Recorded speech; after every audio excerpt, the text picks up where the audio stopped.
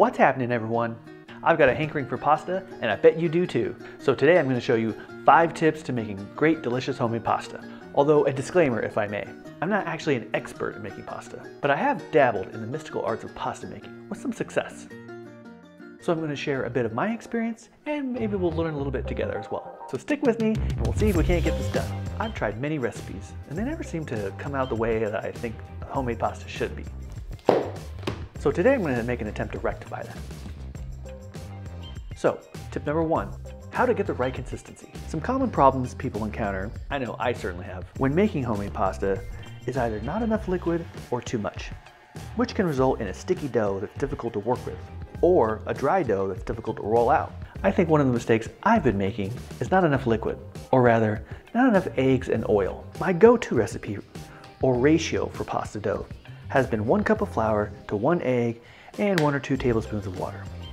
While this has resulted in satisfactory pasta in the past, I want to push the envelope today and attempt something more decadent. That and we're going to double the recipe for some guests this evening. So that will be two cups of flour, three eggs, a tablespoon of olive oil, and probably about three to four tablespoons of water. The reason the water varies is really just depends on how the planets happen to align that day. Phenomenal cosmic power! Or rather, the humidity, the temperature, and so on. So just start a little bit at a time and add more as needed. For today's application, I wanted to do something different than your ordinary cream or red sauce. And I saw a recipe the other day for uh, roasted red pepper dipping sauce for crostini. And I thought, why not a red pepper cream sauce? And I always feel like I need a protein instead of just empty carbs. That way I just feel less guilty. So we're also going to pan sear some chicken breasts, and we're gonna top everything off with some pecorino romano and some chopped parsley. If you've got a helper, you can maybe have them start on the red peppers, which means preheating the oven to 425 degrees Fahrenheit, dicing the peppers into four pieces each, and then placing them skin side up on a baking sheet with some parchment paper. I tried this technique on another video I did and the pepper stuck to the baking sheet. If you do try this, just make sure you use parchment paper to avoid sticking. Okay, back to pasta. This can take some experience to gain some intuition, but basically you want to keep combining the dough until it comes together, which should be a fairly intuitive description, but it might take you a few times to determine exactly what that means for you. And this is tip number two. Don't over knead the dough. If you're looking for that delectable texture and mouthfeel, why is that a phrase associated with food? It's weird and creepy. You want to knead it just until it's smooth, typically around 5 minutes, but certainly no more than 10. Now you need to let it rest, which will also aid in attaining the texture you're looking for. If you're going to use it right away, wrap it up in some plastic or cover it with a damp towel to keep it from drying out. Otherwise, wrap it up, put it in a bag, Tupperware, and place it in the fridge. You want to let it rest for a minimum 30 minutes.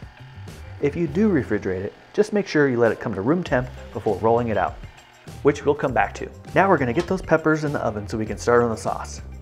I roasted these about 25 minutes, turning the pan at the 15 minute mark. I think this is fairly well known, but once they're done, you want to cover them so that they steam to help loosen up the skins. I don't think there's necessarily a wrong way to do this. I typically place them on a plate and cover with a large bowl, Lots of recipes call for Tupperware or a zip top bag.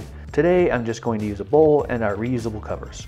Okay, I'm going to say something that's probably not terribly popular. Removing the skins isn't absolutely necessary. But if you don't remove them, they tend to fall off and curl up into little bits in whatever you're cooking.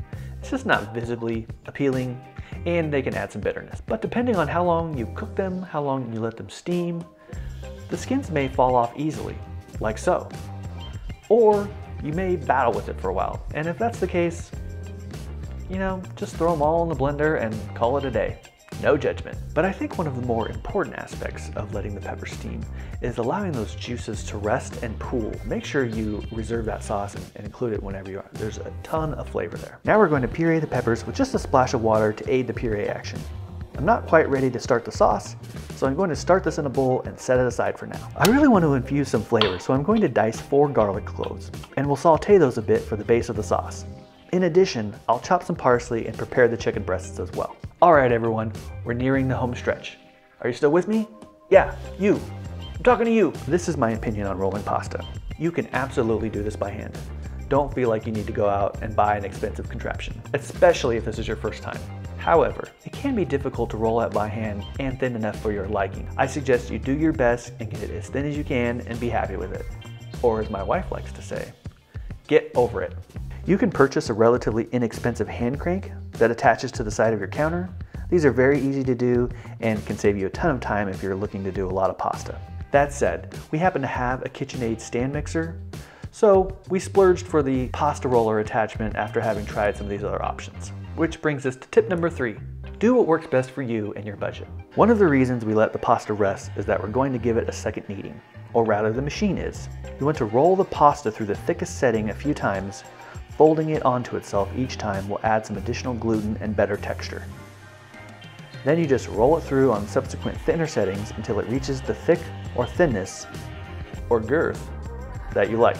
This attachment has 8 settings, 8 being the thinnest, I used level 6. Just keep in mind that the pasta will expand when you cook it.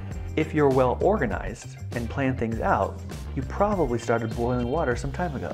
I, however, am not the most well organized person, and therefore I got so wrapped up into filming this episode and making pasta that I forgot to boil water. So we're gonna start that now, and you can all benefit from the magic of video editing. Just make sure to use a lot of water to ensure the pasta gets cooked thoroughly and evenly.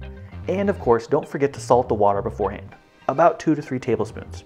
And whatever you do, make sure you have the rest of the ingredients ready when you throw the pasta in the water. That said, we're going to start on the sauce, which brings us to tip number four. Don't be intimidated. This sauce, or other cream sauces, might seem intimidating, but it's really not that hard. It just takes a bit of planning and some simple steps to follow. Most sauces begin with a base, which is where a lot of the flavor starts. Then you add some liquid to thin it out and increase the volume, and then some additional liquid for texture and more flavor. We'll start with searing the chicken so we can deglaze all those tasty bits for the sauce. Remove the chicken, add some butter and garlic, don't let it burn, and then deglaze with some wine. I used rosé because that's what we had in the fridge, but most white wines will work nicely, either a Sauvignon Blanc or Pinot Grigio. Now you can add the pepper puree. Let that simmer for a few minutes, and then add a bit of chicken stock for flavor and to thin it out, and increase the volume. Let this simmer and reduce for about 10 to 15 minutes, and then add the heavy cream, about one cup. If you've watched some of my other episodes, you know that I'm not the best measurer, and I typically just eyeball things based on how it looks and a little bit of intuition. Stir to combine and let this simmer for another 5 to 10 minutes. Add salt and pepper to taste. All right, folks, here we go. Pasta time! And last but not least, tip number five, don't overcook the pasta. Fresh pasta doesn't require as long as a cook time as its dry box relatives. I generally cook it about half the time I would a dry box pasta, which generally speaking is about 6 minutes. But this will also get cooked a bit in our sauce, so I'm going to reduce that to 4 minutes. I like to use a colander setup like this so I can reserve the pasta water. This is key to a good authentic sauce. So we'll drain the pasta, add it to the sauce. You don't need to cook this very long, just another 1 to 2 minutes to ensure the pasta gets coated and infused thoroughly. Remove it from the heat and top it with some sliced chicken breasts, cheese, and some basil. And voila, you've got yourself a unique, homemade, decadent dish. I love making pasta from scratch, and it's something that you can list to your kids or uh, enjoy with the whole family. I hope you enjoyed this video. If you did, don't forget to like and subscribe for more delicious recipes and fun cooking tips. Thanks again, and we'll see you next time.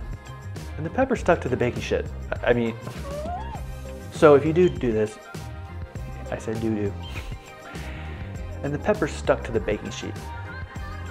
Baking shit. baking sheet.